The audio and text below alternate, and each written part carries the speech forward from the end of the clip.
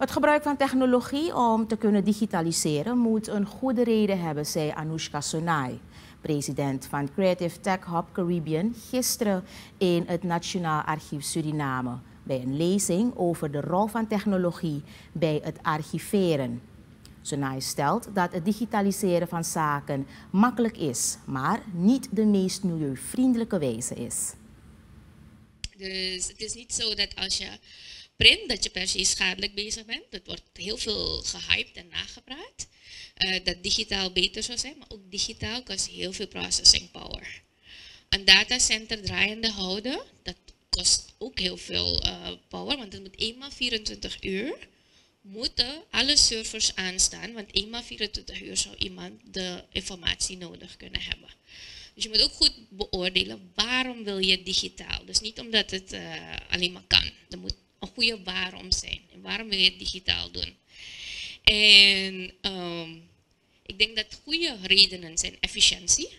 Je kan dingen heel efficiënt maken, want als ik iets moet zoeken en ik moet in een ladebak gaan zoeken en ik moet naar Sonai zoeken, dan moet ik van A tot en met S langs. De technologie zit niet stil en nu al zijn vele zaken zoals digitale archieven vanuit elke locatie toegankelijk. Dus er zijn dan verschillende redenen waarom je kan overleggen om het wel te gaan doen. Maar er zijn dus natuurlijk ook, wees bekend met metadata. Informatie wordt um, opgeslagen met keywords die we metadata noemen.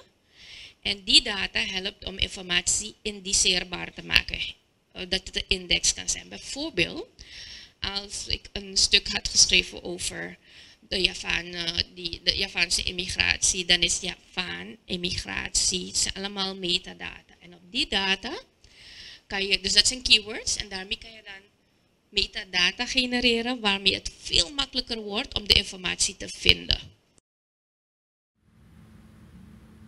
Sonai geeft aan dat er, bij, dat er bij stilgestaan moet worden dat een ieder die gebruik maakt van smartapparaturen nu al gebruik maakt van kunstmatige intelligentie.